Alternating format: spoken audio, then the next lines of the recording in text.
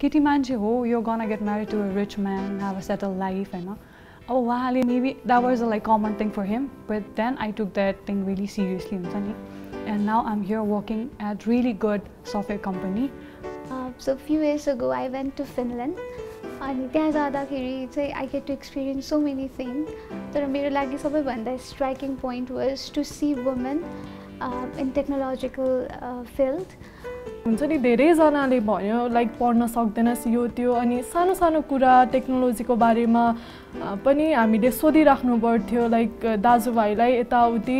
अनि लाइक गर्ल्सले गर्नै सक्दैन भन्ने छ नि त।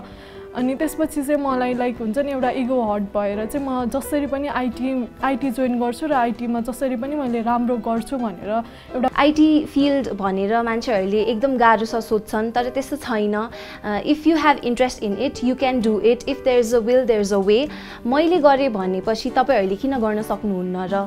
Thank you used to laugh at me and they used to tease me like अब तिमीले त्यही गर्नै सक्दैनौ तर I finally gain enough courage मैले पढ्न थालेँ I started reading more I started taking up online courses अनि त्यसैले finally I am doing good if you really want to do it, you can do it. There are, there are like really good opportunities out there. Just grab it.